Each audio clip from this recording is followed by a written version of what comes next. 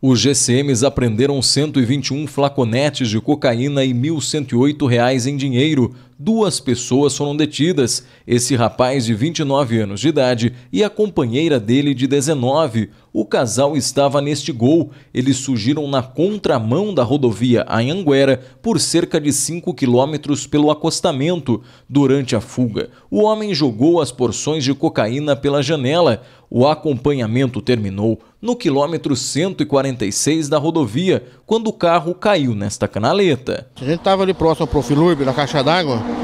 Foi quando eu e meu parceiro, GSM Flávio, a gente avistou esse, esse veículo aí, é tudo suspeito. A gente mandou ele que ele parasse, o mesmo não obedeceu o ar de parada e começou a, a fugir da viatura.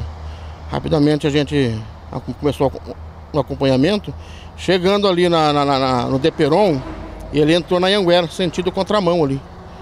É, na contramão da Anguera. E por sorte, por ser de noite e o trânsito tá, na Anguera está um pouco, um pouco lento hoje, a gente conseguiu acompanhar ele mais ou menos uns 5 quilômetros. O rapaz de 29 anos de idade fugiu por cerca de 5 quilômetros na contramão pela rodovia Anhanguera. Quando chegou naquela placa, ele pulou do veículo em movimento, só que a namorada dele, de 19 anos de idade, permaneceu no carro. Por muito pouco, um acidente não aconteceu, porque o carro acabou indo para a rodovia e estava vindo um caminhão. A moça acabou mudando a direção do veículo e jogando o carro na canaleta da rodovia em Anguera. É, tendo em vista que na hora que ele pulou, é, o parceiro meu, o Flávio, ele já, já desceu da viatura e foi atrás dele.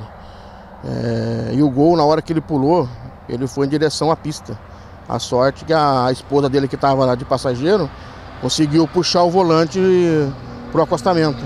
Foi aonde, que se ela não faz aí, estava é, vindo um comboio de carreta. Essas carretas aí não ia ter nem tempo de frear, né? Devido à velocidade, a hora que está agora, então os caminhões andam meio com uma, com uma certa velocidade meio, meio avançada, né? A sorte é que ela conseguiu puxar o volante, senão teria acontecido coisa pior. Qual a equipe da, da guarda que apresenta essa ocorrência agora no plantão? Os dois indivíduos devem ser presos, tanto a mulher quanto o rapaz deve ser preso por tráfico de drogas.